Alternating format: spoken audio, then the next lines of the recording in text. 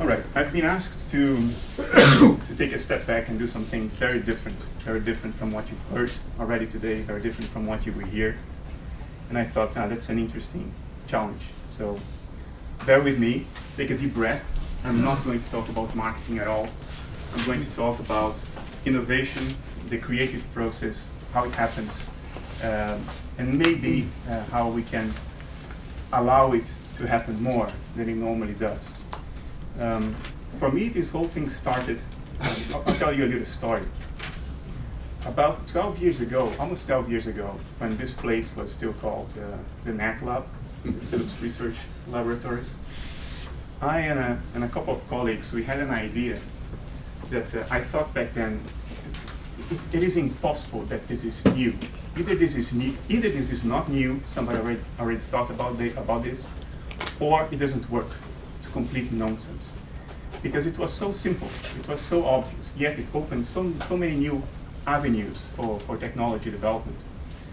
To cut a long story uh, short, uh, it, it was new, it did work. We founded a company called Silicon Hive, uh, which eventually was sold to Intel a couple of years ago. And the technology that came out of that, today you can find in some high-end mobile phones, high-end televisions. And since then, I was very intrigued about this, this innovation process. What, what happens in our minds when we have an idea like this? I, I, I didn't feel like I had that idea. I felt like the idea had me, that it, it sees me at some point for reasons that uh, I, I can't really pin down. And since then, almost 12 years, uh, I have been looking into this, into this, this, this phenomenon, this phenomenon of, of creativity and innovation uh, that we all uh, partake in. Now, when we talk about creativity, most of us, especially in science, would think, you know, you develop new ideas by constructing them algorithmically in your brain. So it's a brain activity issue. Your brain's active, establishing new connections, connecting concepts, images, and ideas, and creating new ones, like a construction worker builds a building by putting bricks together. Uh, is there any one of you who thinks this is not how it works? Any one of you, there are about 100 people in this room. So about 10% of you don't buy into this. This is interesting. I thought there would be less.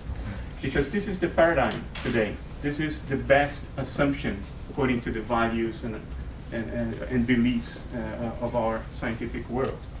Yet, there are certain things that don't fit well with this. I, I'm not going to say that they are not explainable by the paradigm, but they don't, they don't fit well with it. For instance, the case of Tommy, an English builder who you know, had, was full of tattoos and he described himself as somebody who had absolutely no interest in the arts or in creativity, uh, short-tempered, that's how he described himself.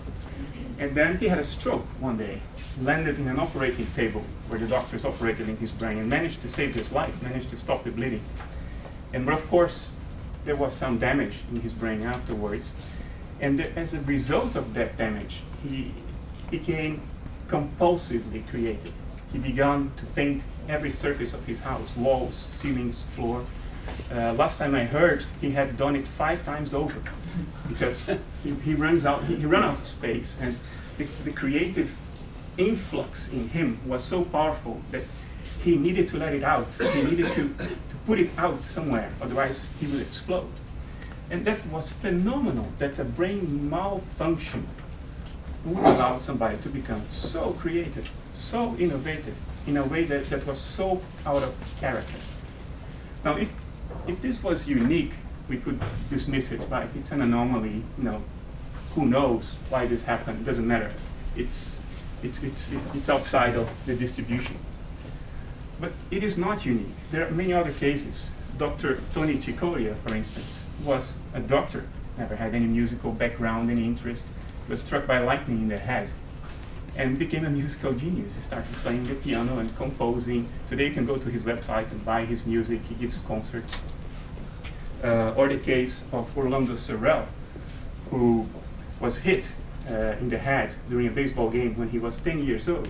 And since that day, you can ask him, uh, you, can, you can give him a day, a date, like uh, 10th of October 2011, and he would tell you what day of the week that was and what the weather was, almost instantly. And he does that without any difficulty. And I can explain how how that works. I mean, he got hit in the head. That was that was brain damage. Let's do it. I'm not suggesting No, no, that you okay. go ahead and do it. Put him in the pose. I'm just sharing some anomalies. This is very inspirational. No, don't get me wrong. Another case, um, Alonzo Clemons. Um, he fell when he was three years old and he hit his head in the ground very hard, hard to the point uh, that he became unable to take care of himself. Uh, his measured IQ is 40. The average IQ in this, IQ in this room probably is 120. Uh, so his IQ is a third of the average you. Um, he doesn't speak almost. Uh, he can't tie his shoelaces. He's completely dependent on other people because his brain has been damaged. But he's able to look for a few seconds an animal. Then he doesn't need to look at the animal anymore. The lights can even be turned off, and he's able to make perfect three-dimensional sculpture of what he saw, only with the sense of touch. Uh, each one of these his small sculptures is selling now for over a thousand dollars. The guy makes a living out of this. Uh, he is a sculpturing genius, if you will. um, so what is happening here, right? I mean, it is almost as if, like the, the, the journalist from the BBC described it, it is almost as if by damaging the brain, you open the gates to an influx of something that comes from the outside. It's almost as if these people would transcend themselves and, and gain access to something that is somewhere in the ether, in some platonic world of, of ideas and innovation. And there was a study published in 2010 uh, in the magazine, uh, neuroscience magazine Neuron, where they had the opportunity to do a controlled study of this because some patients needed brain surgery for the removal of tumors, and they knew that there would be brain damage. Every time that you remove a tumor, there is some brain damage. And they decided to interview these people before and after the surgery and evaluate an index that they call the index of self-transcendence. In other words, according to the evaluation of the person herself, how much is the person in contact with something that transcends them, something that is outside of them. And it turned out that for damage incurred in those two regions there, which are, uh, you know, look at this, where are they roughly? They're roughly here and here in the brain, uh, would increase the feeling of self-transcendence, the feeling that you're in touch with, with something that you, you see as outside of yourself, something outside of your ego. Uh, and it, this was a very carefully conducted study. So there is something going on here that we don't quite understand yet. Francis Crick is a Nobel Prize winner. He's the co-discoverer of the DNA. He's not any Nobel Prize winner. You know, there are there are Nobel Prize winners and Nobel Prize winners, right? This is a real Nobel Prize winner, as is Kary Mullis, uh, a Nobel Prize winner in biochemistry, uh, also a very serious uh, uh, scientist. And um, in the case of Kary, uh, he said that already some time ago. Francis confessed to this at the end of his life. Uh, they both said that their key Nobel Prize winning creative, innovative insights were had under the influence of a certain chemical. Do you recognize the four rings? This is lysergic acid diethylamide. This is LSD. And they both said that under the influence of LSD, they had uh, their Nobel Prize winning insights. Well, there are other examples, Steve Jobs, and the list could go on. Psychedelics are known for increasing creativity. It's not a secret. And until very recently, there was nothing spectacular about this, right? Psychedelics, everybody thought, gets your brain to fire. And as your brain is firing up crazily, new connections by chance are established. And every now and then you can have a massively creative, innovative insight, right? No problem there. The problem is that in January of this year, well, beginning 2010 and 2011, they did a study and they decided that they wanted to see whether this is really what was happening. Is that what psychedelics do? They used a natural analog of LSD called psilocybin, which is not made in, in the laboratory, it grows in a plant. And um, so they stuck volunteers in a brain scanner, an fMRI, and they started measuring the brain under normal conditions, and then they would inject psilocybin and, and see what happens, both objectively in the brain and what people would report from that experience. And there were controls, people who just got saline solution no psychedelics at all. And they compared brain activity between these controls and the people who did get the psychedelic. And they only measured reductions. All the blue areas you see are the areas in which brain activity was reduced compared to the controls. There is no increase in brain activity anywhere when psychedelics are in your brain. So, you know, the traditional explanation doesn't doesn't do it anymore. You know, this is more related to the case of Tommy or Tony Cicoria, and it, it's, a, it's a your brain goes to sleep and you become more creative. That's basically what is happening. It fits the pattern I'm trying to to, to suggest to you. And the pattern is much broader. Uh, if you have kids, you probably heard of a very dangerous game uh, teenagers play called the choking game, in which they on purpose partially strangulate themselves and they try to keep themselves at the point where you're almost passing out, but you're not quite passing out. Because that leads to a fantastic experience, an influx of information and insight that is almost addictive. And some kids die as an accident playing this game. What do you think happens when you constrict blood flow to your head? Your brain certainly doesn't start jumping around. You know, it has less energy, it's me less metabolism, uh, brain activity is less, and yet the experience is uh, of insight and creativity. Uh, some forms of meditation use hyperventilation. You start breathing very deeply, very fast. If you think that increases brain activity, how many of you think this increases brain activity if you breathe very fast? Okay, uh, only a few of you are brave enough to confess that that's what most people think. Actually, that's not what happens. Uh, uh, in fact, brain activity is reduced. That's why you pass out if you hyperventilate. Because the alkalinity level of your blood increases. Your body can't take that, so your blood vessels, your capillary vessels constrict, and blood flow to the brain is reduced. You, you may pass out if you breathe too fast. And yet, some forms of yogic meditation and holotropic breath work, they aim at giving you unfathomable experiences, increasing your creativity and uh, your, your understanding of the nature of reality even, precisely through hyperventilation, which reduces brain activity. So the correlation we are finding here is the opposite of what you would think, right? All, all of this seems to correlate with less brain activity or even brain malfunction depending on the brain malfunction. More examples.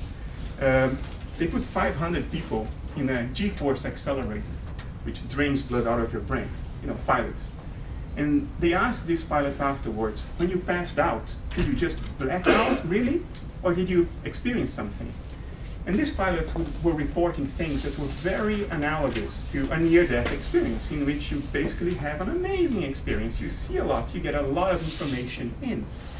And that was kind of confusing, but that's what was, this was only in the 1990s. Traditional cultures, like Indians, pre-literary cultures around the world, their initiatory rituals, when you're a teenager and you're becoming an adult and you need to learn about the big secrets of nature, what do they do?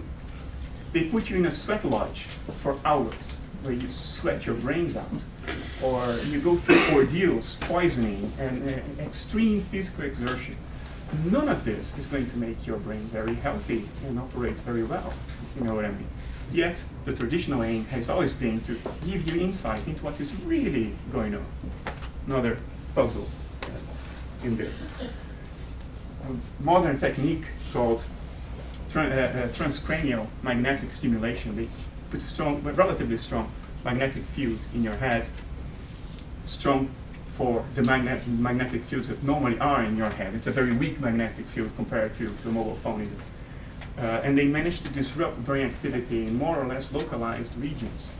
And there was one patient in Switzerland who was epileptic, and uh, they deactivated a certain part of his brain, an angular gyrus, and the guy had an out-of-body experience, which was induced by a deactivation of the brain, which was strange as well. It's almost as if you can sort of gain access to, to something that is not in your head through a specific manipulation and reduction of, of brain activity.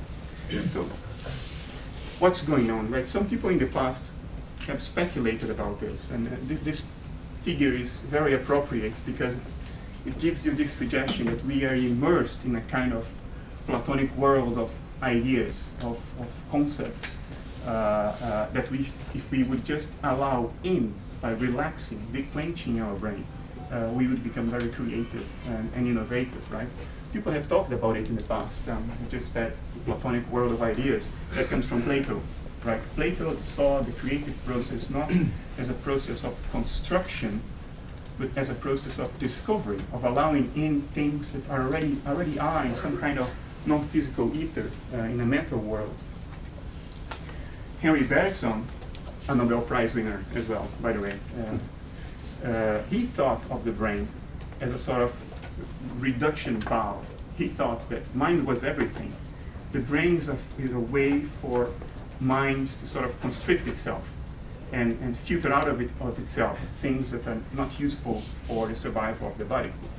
And uh, later on, in the 50s, Aldous Huxley uh, echoed that same idea. In The Doors of Perception, he writes two paragraphs in which he says exactly that the brain is a sort of reduction valve. Uh, these views imply maybe a form of dualism, right? The mind is, is a different stuff than the brain. I, I'm not sure I personally go there. I'm, I'm not, I don't consider myself a dualist in that sense. Uh, but I do see the brain in a slightly different way than the, the current paradigm, and that's what I would like to share with you. When you, I'm almost through by the way. When you look at lightning in the sky, do you think of lightning as causing atmospheric electric discharge? That, that image of lightning, you don't see that as the cause of atmospheric electric discharge, right? That is the image of the process of atmospheric electric discharge. When that process is going on, the way it looks to you, if we give a label to that, we call it lightning. It's absurd to say that lightning is the cause of electric discharge. It's just the way it looks. It's the image of it. Uh, my own thinking is that the brain is the image of a process by means of which mind constricts itself for survival advantages. It's not useful for you to see a tiger roaming around in India right now. You probably wouldn't be sitting in this chair, running to the door. Um, so I, I don't see it as something, that mind is separate from the brain. I see the brain as a process in mind that looks to us in a certain way, just like lightning looks to us in a certain way. And in the case of the brain, the analogy I like to make is it's a kind of whirlpool of mind. You know, there's nothing to the whirlpool, to a whirlpool, but water. Yet water in the whirlpool sort of localizes itself. It circles around a specific point until it eventually dissolves and joins the rest of the stream. And my own philosophical approach to this is to look at the brain as this image of a whirlpool-like process in the medium of mind. And that could maybe suggest an explanation for why the process of innovation process of creativity is not so much as this, a fist, tension. Let's create something in our brains, right? Let's get our neurons firing up. Apparently that's not how it works. Apparently the way it works is that if you allow your mind to declench, relax, let activity go down, let things come in, let the influx come in, pay attention to it as it's coming in, then maybe you'll be seized by a hundred million dollar idea like uh, some of us in this room have been seized in the past. And that's what I want to leave you with. And if you want to read more, that's how you can contact me. Thank you. Bernardo.